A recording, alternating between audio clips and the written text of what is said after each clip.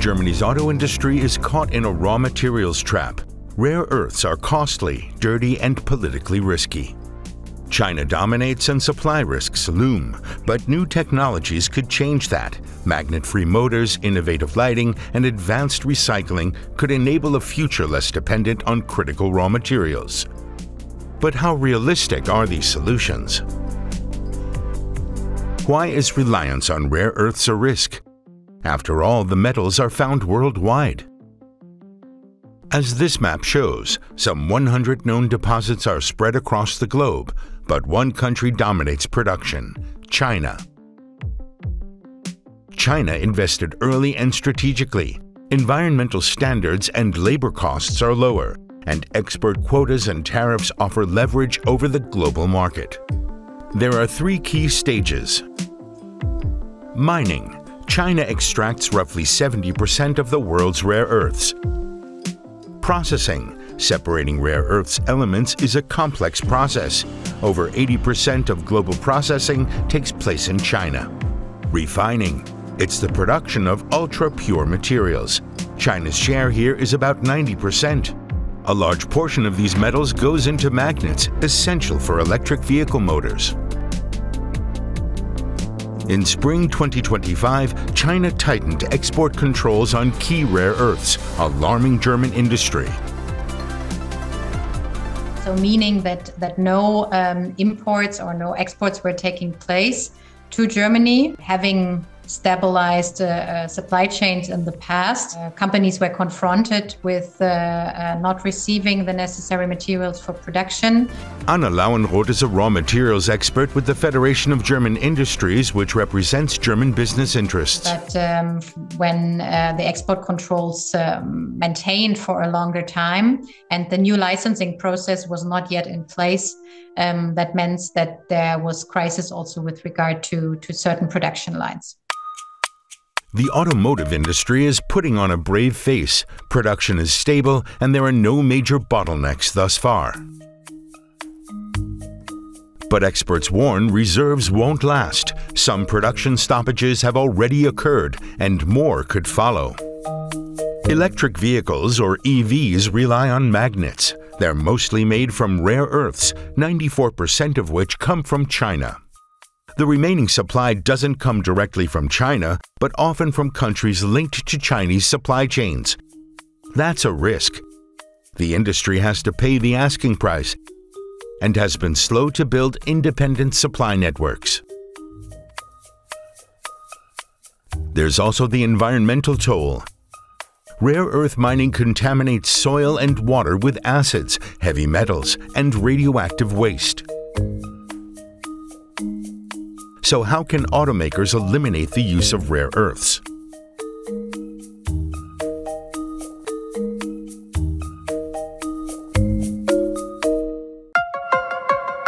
At the Institute for Electrical Energy Conversion in Stuttgart, researchers are developing an electric motor that doesn't rely on permanent magnets made from rare earths. Here's a graphic a conventional electric motor contains permanent magnets with fixed north and south poles. The motor's outer poles attract and repel the inner ones. That push-pull interaction keeps it spinning.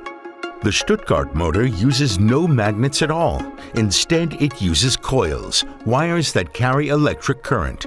The current generates a magnetic field. That field drives the motor.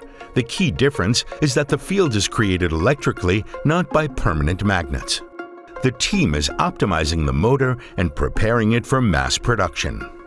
At our institute at the University of Stuttgart, we're working on this type of machine now for more than 10 years. An electric motor without rare earth magnets performing like magnet-based drives. Low maintenance, minimal wear. It could reduce the auto industry's dependence on critical raw materials. What makes it unique? Compared to an elect uh, standard electrically excited synchronous machine with the slip rings, uh, our machine have less wear uh, because um, we get rid of the slip rings. We use the, the wireless power transfer system to replace the slip rings and therefore we don't have any contacts. The patent has already been sold to a major German automotive supplier. The Institute's director hopes the fully developed motor will reach the market within two to three years. Lower costs could speed up mass production. Yes, it is cheaper because at the moment, if you um, observe the, the, cost of the permanent magnets, they are changing a lot.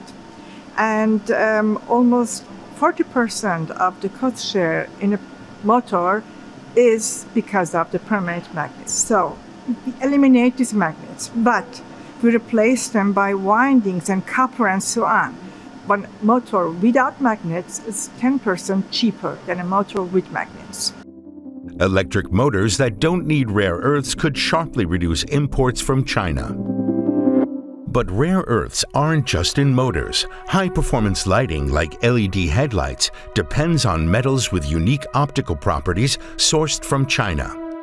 Even interior LEDs usually contain critical metals, though in much smaller amounts. Here in Düsseldorf, a university team is trying to replace these rare earths. Europium and cerium are key for strong light output. How can they be replaced? Different materials vary widely in light output efficiency. These metals are often used in powder form. Some perform better in terms of brightness and light quality. Our final aim should be to substitute earth elements as far as possible. Uh, manganese is more sustainable in the production process and it's cheaper and more available because there are not some big players in the world who produce it but many smaller players. Lukas Traeger is optimistic he'll reach his goal by the end of the project and hopes the auto industry takes notice. Initial tests show that manganese-based phosphors don't quite match rare earths in light output, but they come close. Unlike rare earths, manganese is abundant and widely available. I'm really sure that manganese-based phosphors should be much cheaper because manganese as an element is way cheaper. It can be mined everywhere in the world and it is much easier in its purification. Experiments show it works, especially for lighting that doesn't need vivid brightness. In those cases, rare earths could be phased out fast. For example, for indoor lighting, you don't need a super high power LED.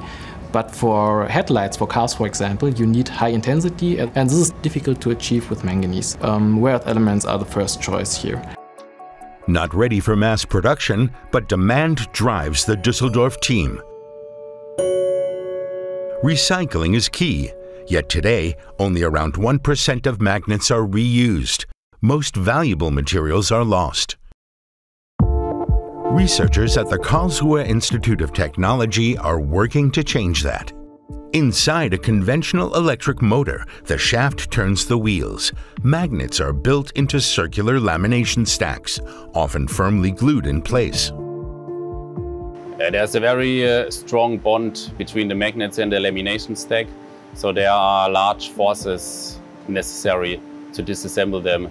And these large forces often cause the magnets to break, um, which destroys them. Once broken, a magnet is almost unusable. Here they take a different approach. Detaching the magnets in a controlled process without breaking them. That's the crucial step for reuse. The process removes the magnet intact, ideal for a second life the higher the price is, um, the more viable it is to uh, disassemble them because then there's just uh, more money that can be made with it. The process can be scaled up, but it's often still more expensive than buying new magnets from China.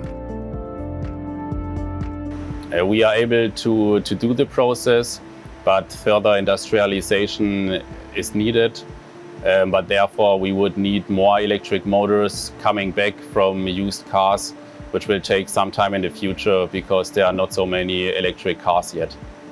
Anyone aiming to reduce import dependence needs solutions like this.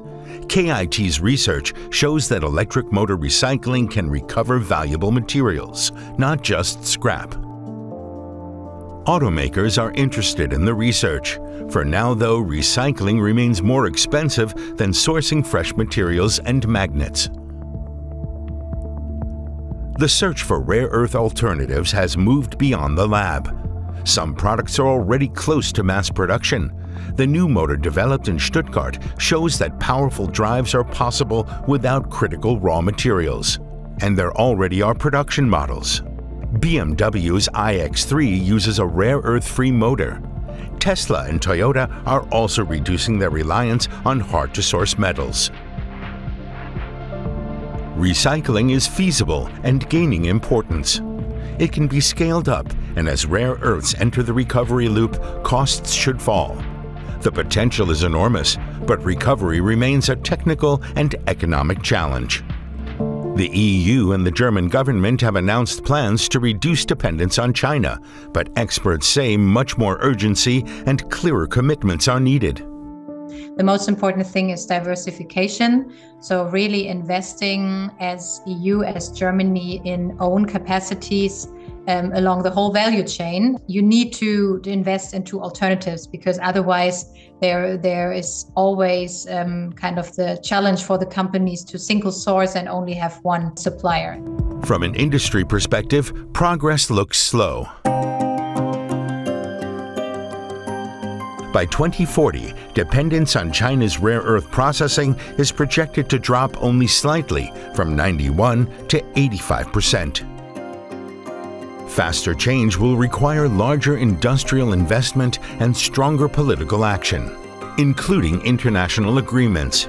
Germany is expanding cooperation with Canada on raw materials extraction, another step to reduce dependence on China. Solutions exist, but they must be pursued and implemented. The question is not if, but how fast. How independent can Europe really become from China's rare earths? What do you think?